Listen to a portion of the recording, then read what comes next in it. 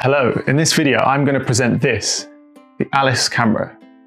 The Alice camera is an AI accelerated computational camera that we're developing for content creators, vloggers, YouTubers, Twitch streamers, TikTokers, and for anyone else who wants to share high quality videos online. The Alice camera brings together mirrorless camera technology with smartphone technology. It will have a dedicated AI chip and modern computer that will run deep learning algorithms to help with focusing, exposure, color, and more. We're also going to be developing an iOS and Android app on your smartphone that will communicate with Alice, that will make it much easier for you to shoot, edit, and share videos online. This is the first of a two-part series where we give you a closer look at Alice. In this episode, I'm going to go through the main hardware features of the Alice camera, and in a future episode, I'm going to talk about the core software and AI features. The aim of this series is to do a bit of a show and tell and to get your feedback on things that you like and things that you don't like. So please comment, like, subscribe to get notified on future videos. So feature number one is the smartphone grip. You can attach almost any modern smartphone to the Alice camera just by pushing this grip up and by pulling this down. Here I have my iPhone 11 Pro and I'm going to take it and put it just onto the back of Alice. You mount it just like that and you basically have a professional optical system on the back of your smartphone. I also have an iPhone 8 here, so you can also attach it here, works just as well. So maybe you don't need to think about upgrading to the latest iPhone 12. If you are really into cameras and you're looking for a high quality optical device, then maybe Alice is the answer for you.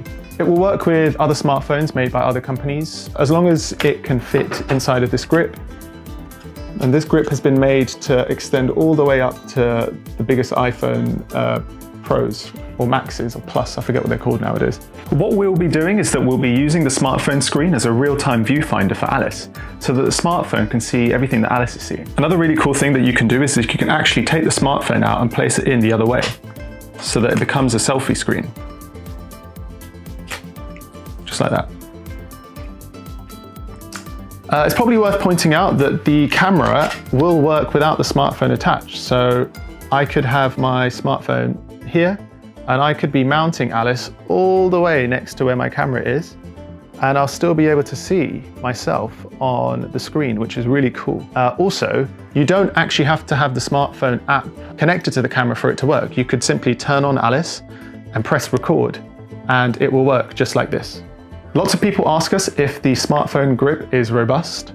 So here I've got it with my iPhone 11 and if I shake it like this, pretty robust. And like this, again, quite robust, doesn't fall out easily. Feature number two is the interchangeable lens. That means that you can take the lens off. How cool is that?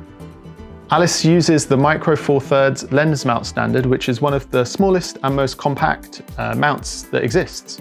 It's also one of the most flexible and has a huge variety of lenses. You could use vintage lenses, but also lenses from different manufacturers if you have an adapter. So here I've got a vintage lens and I'm using a Micro Four Thirds adapter to make it work onto the camera. If I take this lens and put it onto Alice, it doesn't fit, doesn't work. So what I need is an adapter to attach it onto the camera.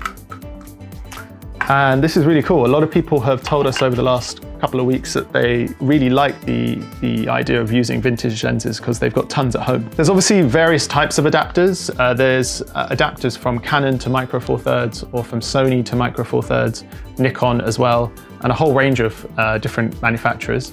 That's probably for another video, and there's tons of uh, really great YouTube videos out there that talk about the different types of adapters that you can use with Micro Four Thirds. So I'll drop a link down below and you can check them out in your own time. Feature number three is the button placement. Alice has a very minimal design and only a few buttons. So there's a shoot button, an on and off button, and there will be an exposure wheel here. Otherwise, there's no other buttons. A lot of traditional functionalities of the camera will be done by the smartphone app, and we'd love to get your opinions on this, especially as we build out the app. Feature number four is all of the external mounting options. You have a cold shoe option here to mount things on the top. There is a screw at the bottom to allow you to attach tripods and tripod mounts. Uh, there's also a space on the side here for neck and arm straps. Otherwise, that is it. And feature number five is all the other things, uh, which I'm lumping into one feature. So first we have audio. Here is a microphone jack, which will allow you to input external audio. Secondly, here, there's a USB-C charging port. And thirdly, there is a spot here for external storage, so an SD card. But recently, we've actually been thinking about getting rid of the SD card entirely and focusing on internal storage. So what do you think about that? We'd love to get your thoughts, uh, so let us know in the comment section below. Just some final thoughts uh, before I wrap up the video. We're doing our best to give you as much information as possible as and when it comes out, but there's loads that we can't talk about for intellectual property reasons. And uh, several people have asked us tons of questions about the sensor uh, we're using a Sony sensor, 11 megapixel quad Bayer HDR sensor. We're also using some dedicated AI hardware, which we can't talk too much about. Battery life is also another question that comes up. We're still testing the battery life but it will have a more powerful battery than most modern smartphones. Lastly, we're starting a beta program for the Alice camera. Uh, we're going to be selecting 50 people who will get insider access to exclusive content. They'll get the option to test the camera before anyone else. Uh, their feedback will be really valuable in terms of how the camera operates, what kind of software features we'll be going for. Um, so we're going to be launching that program really soon. Uh, message info at alice.camera if you want to learn more about this. Uh, but yes, keep an eye out for our beta program. I'll probably do a launch video for that in any case. Thank you very much for watching this video. Please like and subscribe to be informed when we release future videos about Alice. We're really trying to do something different and innovative in the camera space. And in order for it to be a success, we need you guys on our side. We need to talk to you. We need to understand what you like, what you don't like about your cameras at the moment, so that when we're developing Alice, we can build out features that are really transformative and that can really help you as you're making your content. So stick around, subscribe, and chat to you soon.